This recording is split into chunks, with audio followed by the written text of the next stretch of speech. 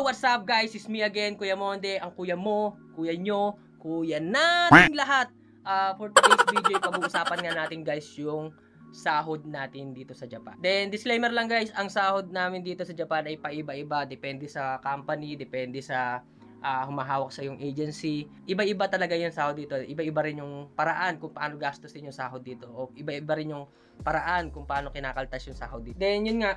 So, ngayon, ang pag-uusapan natin guys, ay yung sahod ko. Pasensya na guys ha, sahod ko 2 years ago, 3 years ago. Kasi ito yung sahod ng trainee um, 3 years ago bago ako umuwi ng Pilipinas. Bali, hinalongkat ko guys yung ating baol ng mga payslip. So nakita natin nga yung sakto pa yung guys yung napili nating payslip kasi ito yung payslip na huli kong payslip bago ako umuwi ng Pilipinas. So, sakto nga yung nakita ko. Pagbukas na pagbukas... Oh, ang gulo na naman! Ang gulo magsalita eh! Hindi maintindihan ba sinabi? Pagbukas na pagbukas ko, uy, ito yung payslip ko nung huli kong uh, sahod bago ako umuwi ng Pilipinas.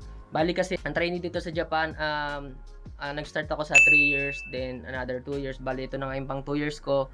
Uh, matatapos na yung 2 years ko. Then, another contract na naman tayo. Uh, sana naman uh, medyo gumanda-ganda yung future natin dito. Uh, um, mabuo natin yung mga pangarap natin. So, ayun, ito na nga guys, bali ito yung nakita kong payslip. Then nga pala guys, um, about naman sa sahod, disclaimer lang guys, bali nga kasi na-experience ko yung may mga nagtatanong magkano ang sahod ko dito sa Japan, magkano nga ito, malaki nga ba o mababa. So kasi depende kasi guys yung sa nagtatanong yung ano eh, kung i-categorize lang natin sila sa ano. For example, eh yung lower class, middle class, tsaka higher class. Kasi iba't iba kasi yung mga nagtatanong sa akin na, na kaibigan, no, mga kaibigan, kakilala nagtatanong kung, mag, kung magkano yung sahod ko. Pag sinabi ko, meron magsasabi ng mababa, may taas, may sakto lang. So, ano na lang guys, i- depende kasi sa nagtatanong. Oh, i ano na lang na, categorize na sila lower, mid, tsaka higher class. For example, um, ikaw yung tao na uh, medyo yun nga medyo hirap tayo sa buhay yun nga kailangan kum, um, kailangan kumayod para para mapakain lang sa pamilya ganon um, yun yung mga lower class. Then middle class, ayun naman yung sakto naman yung, sakto ba yung kumakain sila tatlong beses ang araw, sakto yung pang araw-araw nila. Yun. Then yung higher class, yun naman yung mga, alam nyo na, yung mga may kaya sa buhay, yun yun. So kasi dito na experience ko kasi na iba-iba yung reaction nila about sa sahod namin dito sa Japan. Meron nagsasabi na, ang baba naman yung sahod mo Kuya Monde. Meron nagsasabi naman, mataas na yan. Meron nagsasabi niya na, na okay na, sakto na. So yun nga, So, uh, depende yan sa uh, tatanong sa'yo kung baba o mataas. So, yun na nga pag-usapan na natin guys yung sahod natin dito sa Japan. So, may mayroon na pala akong ano, computation, then meron tayong yung luma natin payslip. Bali, kwento ko lang pala sa inyo guys muna. Uh, bali, itong sahod ko na to dahil, dahil nga 3 2 years ago, ito yung last kong sahod. Medyo tumaas na to. Ito na yung tumaas na na sahod ko nung 3 years ago. Kasi nga, yung 2016 ako pumasok ng Japan, sumasahod lang ako, medyo mababa lang. Kinukubra ko, o, sinasahod ko dito sa Japan. So, hindi naman ganun kalaki, pero okay lang din. Pero tumaas na rin naman. Uh, ito nga, ito nga yung 2 uh, ah, years ago, yung last year ko bago ako umuwi ng Pilipinas. So, ayun na nga guys. So, ano pang inaantay natin? Start na natin para magkaroon naman kayo ng idea kung magkano nga ba ang sahod namin dito mga trainee dito sa Japan. So guys, ang basic pay ko ay 155,000 yen. Yun yung basic pay ko 3 years ago bago ako umuwi ng Pilipinas. Then, so, kung sa peso siya, i-convert mo siya 69,750 pesos. Bali, itong conversion guys, depende sa palitan ng yen sa, sa Pilipinas. Uh, kasi ngayon, ito, kinonvert ko lang to guys sa ano eh, ah, 45 pesos per yen. Kasi nga guys, ano, pandemic tayo, mas mababa ngayon yung palitan dahil nga nagkaroon ng pandemic. Ang baba talaga ng palitan. Naranasan ko guys dati na nag na pumalo talaga yung yen natin ng ano ng umabot siya ng 49 pesos, 50 pesos, yung pumalo yun. Yung 50 pesos parang isang araw lang yung nagparamdam pero pumalo talaga siya ng ganong kalaki. So yung sahod natin bumabase din tayo sa palitan ng yen sa Pilipinas. So yun nga basic pay natin is 155,000 yen. Then, kung convert natin siya sa peso, 69,750. 45 pesos ginawa ko, guys. Then, kung i-convert naman natin siya per day, kasi sa isang buwan, may pasok kami ng 25 days. Papalagay 25 days. So, dinivide natin yung 155,000 yen sa 25 days. So, lumalabas siya na 6,200 yen per day ang sinasahod natin, namin dito. Depende nga, sabi ko nga sa inyo, depende sa nakikinig kung mababa o mataas. So, meron din naman mga trainee dito sa Pilip, sa Japan na kung saan uh, alam nila yung sahod namin. So, may magsasabi din na mababa, mataas. Meron naman din kasi nga, guys, iba-iba talaga ang sahod namin. So, kung yung 6,200 yen, i-divide natin sa 8 hours. Kasi sa isang araw, meron kaming 8 hours na trabaho dito. I-divide natin siya. Then, ang kakalabasan niya is 775 yen per hour. Ganun talaga, ganun yung ano nandito guys. Bali kasi dito ang labanan dito guys is per hour talaga yung binabayaran dito. So kung per hour siya, uh, kumikita ako ng 348.75 pesos per hour. So, yun guys yung kinikita natin per hour dito sa Japan. Siyempre, yun, nakita niya nga yung sahod natin na 155,000 yen. Guys, meron pa pala tayong regional allowance. So, itong regional allowance guys, ano to? Depende kasi sa lugar to eh. Depende kung kanto area ka or nasa probinsya ka. Kasi, uh, iba-iba din kasi yung yung buhay or yung expense dito, kung living expenses dito sa Japan, kung for example, napunta ka ng Tokyo, napunta ka ng Kanagawa, napunta ka ng ng Aichiken, so depende sa lugar. Uh, kung magkakaroon ka ng regional allowance. So, kung meron tayo guys na basic pay na 155,000 yen, then meron tayong regional allowance na 19,000 yen, uh, kung i-compute natin siya, magiging 174,000 yen yung ating gross pay. Kung i-convert natin siya sa peso guys, meron tayong 78,300 pesos. Yun yung uh, sinasahod natin dito sa Japan guys. So, may magsasabi na, sina, inuulit ko sinasabi sa inyo guys, ah, iba-iba yung may magsasabi nga talaga na mababa o mataas. So, sa akin kasi, um, masasabi ko sarili ko na nasa Dati kasi nung nag-start ako dito sa Japan guys, meron akong masasabi ko na nasa lower class ako dahil nga yun nga medyo hirap tayo noon. So talagang sumugal tayo. Uh, nag-aral tayo, nagsikap tayo. Uh, sinubukan natin lahat. Yan. So, yun, nakarating tayo ng Japan. Then, medyo nakapundar ng konti. Ayun, nakatulong sa magulang, nakatulong sa asawa, sa mga anak yun. So ngayon nasasabi ko sa sarili ko na nasa middle class na ako kahit pa paano nasa middle class na ako. Kumbaga okay na ako, medyo medyo nasa-settle ko na yung buhay namin. Mag-iina, nasa-settle ko na yung yung buhay nung pamilya ko. Kumbaga konting push pa, uh, siguro pwede na ako mag-stay sa Pilipinas ganun. So yun nga. Pero bago yun guys, hindi pa tapos kasi may mga deduction yan guys. may mga deduction niya, may mga binabawas siya, may mga insurance siya, may mga tax siya. So, dito sa Japan, napaka uh, malalaki, malaki, malaki talaga yung mga kinakaltas dito. Yan. So, umpisa natin sa health insurance, guys. Kung magkano yung health insurance namin dito. So, ang health insurance namin is 8,775 yen Bali, ito yung nakasulat guys sa aking payslip. Yun yung nakasulat sa aking payslip. Ang pinagbasehan natin guys lagi ay sa payslip natin, yung last na sahod ko nung bago ako umuwi ng Pilipinas 2 years ago. Yon. So, uh, health insurance 8,775 yen. Kung convert natin siya sa pesos, 3,948.75 pesos. So, malaki siya 'di ba sa health insurance. Pero guys, itong health insurance malaking tulong to sa atin. Kasi 3 years tayo dito sa Japan, uh, hindi natin masasabi kung uh, yung health ba natin o yung kalusugan natin kung okay ba tayo. Sabihin na natin ayaw naman natin ma-disgrasya tayo, ayaw natin magkaroon ng uh, samang mangyari sa atin. Pero 3 years tayo, so hindi natin masasabi kung kailan darating yung, uh, yung sakit, yun nga, yung madisgrasya tayo, hindi ayaw naman natin mangyari yun, pero syempre, mas maganda na rin na may health insurance tayo. Pa, for safety, malaking tulong to guys, ni health insurance, kasi ako, na-experience ko ng hospital. Ay, ayaw ko man ma-hospital, pero nangyayari talaga.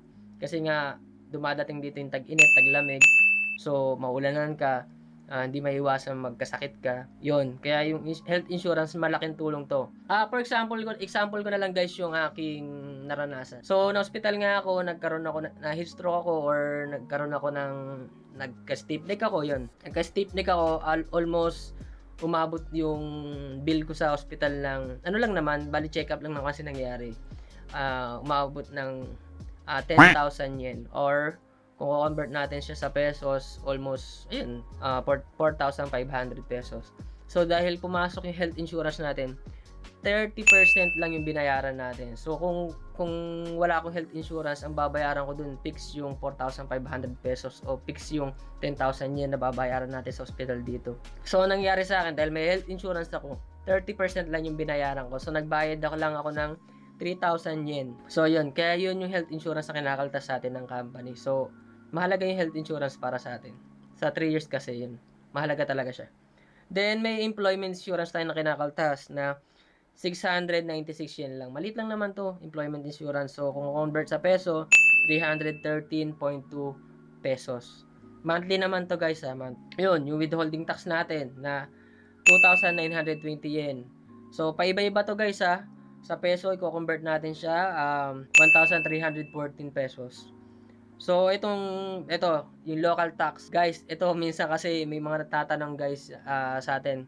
Ah, Kuya Monde, bakit ganun, iba-iba yung local tax natin dito sa Japan. Guys, iba talaga yung kinakalabasan ng local tax natin. Depende sa eh, lugar talaga dito sa Ja- Japan. Meron kasi dito na mataas talaga yung mga local tax na binabayaran. Tulad ko, ah bali ito kasi yung payslip natin year 2 years ago, 3 years ago pa to.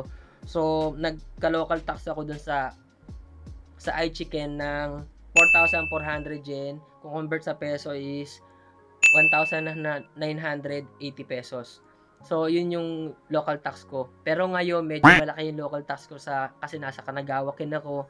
So, nasa malap nasa Kanto area ako, katabi ko lang yung Tokyo. So, yun nga, medyo malaki yung local tax. Kaya iba-iba ang local tax guys dito sa Japan. Ah, yun, yung dorm expense guys. Yun, ito medyo kasi dito guys, yun nga nasabi ko sa inyo nung unang vlog ko yung kung paano nga dito mag-apply sa Japan.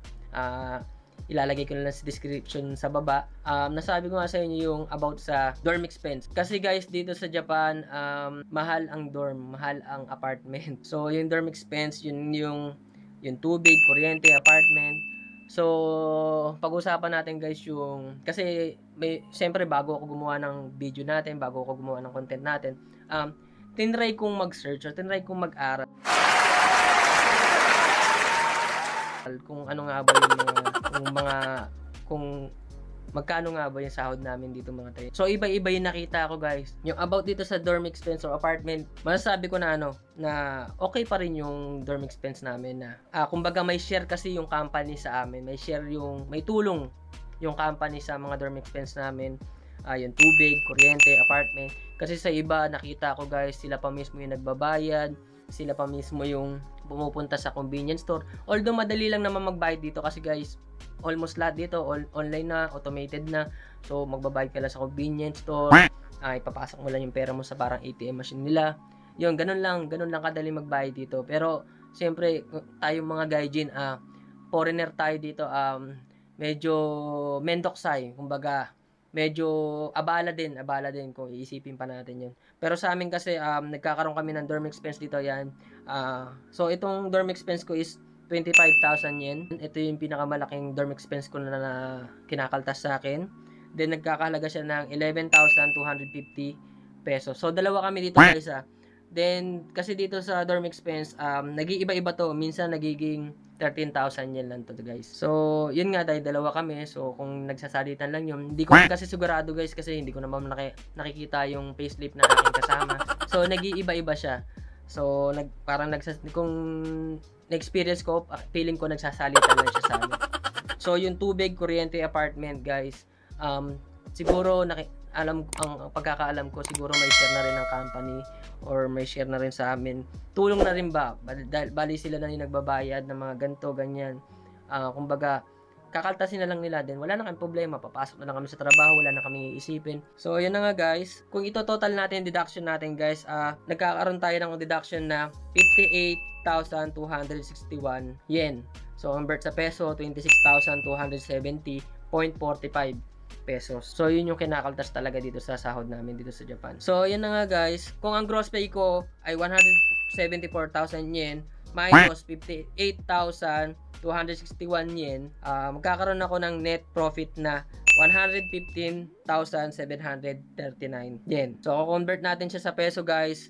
Um, meron tayong 52,082 0.55 pesos. So, yun na yung fix na makukuha ko o yun na yung mawi-withdraw ko sa ATM ko. Yun na yung ano. Yun nga, may, yun nga, iulitin ko sa inyo guys. Um, may magsasabi na mababa, may magsasabi na okay na yan, may magsasabi na mataas yan. So, depende kasi sa status ng buhay talaga ng nakikinig sa atin o yung tatanong sa atin. So, yun na nga. So, meron akong 52,082.55 pesos na makukuha sa aking ATM. Pero hindi pa yun tapos guys. What? What the f-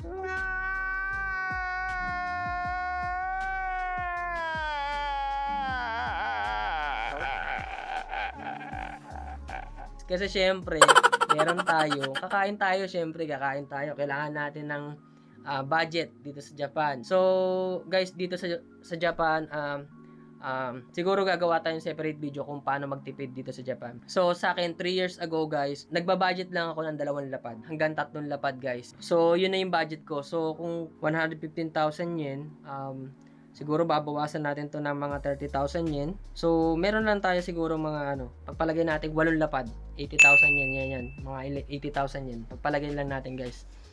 Uh, yun na yung papadala ko sa Pilipinas noon.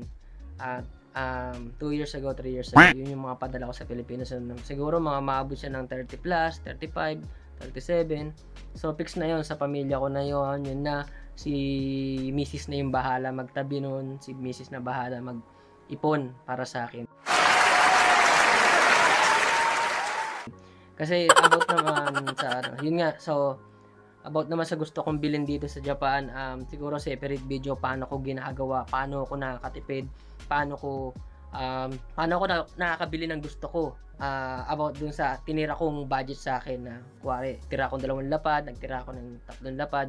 So, paano ko siya nabibili doon sa budget ko na yun. So, yun na nga guys, yun yung sahod natin dito sa Japan. Yun yung kinikita natin dito buwan-buwan. Guys, ang sahod kasi dito sa Japan, buwan-buwan, hindi tulad sa Pilipinas. May lingguhan, may kinsenas katapusan um, dito sa Japan, monthly ang sahod. Kaya uh, dito matututo ka talagang mag-budget, matututo ka talagang um, tipirin o magtipid sa sarili mo. Syempre, minsan lang tayo dito sa, nasa Japan. Um, kailangan natin magtipid. Yun nga, ulit-ulit ko sinasabi, depende yan sa status ng buhay natin sa Pilipinas kung mataas ba o mababa yung sahod ng trainee dito sa Japan. For, uh, for me, guys, um, okay na to, sakto na sa akin to, uh, okay na yung pamilya ko, nakatulong naman ako sa mag-iina ko, sa anak ko, uh, sa mga kapatid ko. Um, siguro okay na to. Kumbaga, sapat na sa akin to. Kasi lagi natin isipin, lagi tayong, uh, dahil nga pandemic ngayon, laging uh, magpasalamat tayo lagi kung ano yung meron tayo ngayon. So, kasi may maraming walang trabaho, maraming hirap ngayon sa buhay dahil nga pandemic, di nakakapag-negosyo. Una tayo magpapasalamat tayo kay Lord, magpapasalamat tayo sa Kanya dahil nga binibigyan niya tayo ng trabaho, binibigyan niya tayo ng lakas sa pang-araw-araw natin. So kung nag-enjoy ka sa video natin guys, don't forget to like, share, and subscribe.